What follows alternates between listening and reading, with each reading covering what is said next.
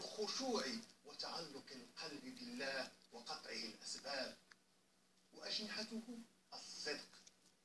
ومواقيته الأسحار